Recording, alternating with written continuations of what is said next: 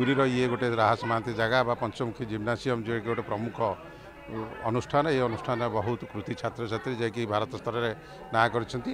ବିଶେଷ ମାହାତ୍ମ୍ୟ ହେଲା ଆଜି ଏ ଦିନର ଯେ ପିଲାମାନେ ଆଜି ଏଇ ତାଙ୍କର କୁସ୍ତି ଶିକ୍ଷାଟାକୁ ଆରମ୍ଭ କରିଥାନ୍ତି। ପ୍ରାରମ୍ଭ ଦିନ ଯେ ନବବର୍ଷରେ ଯେଉଁମାନେ ବି ପୁରାତନ କୁସ୍ତିବିତ ସେମାନେ ତାଙ୍କର କୁସ୍ତି ଶିକ୍ଷା ଏଠୁ ଆରମ୍ଭ କରି ଏବଂ ଆଜିର ମାନେ ଆଜି ଦିନରେ ସେମାନେ ତାଙ୍କର ନିଜର ନିଜର ମାନେ ପ୍ରତିଷ୍ଠାତା କରନ୍ତି।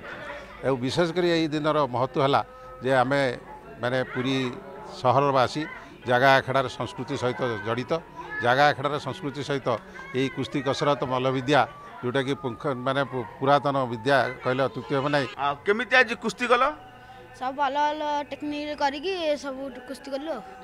ଆଗକୁ କ'ଣ ଏଇ କୁସ୍ତି କରିବ? ଆଜ୍ଞା। ଏଁ? କ'ଣ ହବ କୁସ୍ତି କରିକି? କୁସ୍ତି କରିକି କୋଚ୍ ହେବି। କୋଚ୍ ହବ?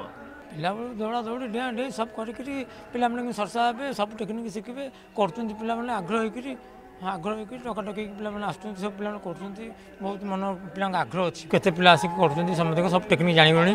ନଢ଼ିବାକୁ ବି ରେଡ଼ି ଅଛନ୍ତି ପିଲାମାନେ ନଢ଼ି ପାରିବେ।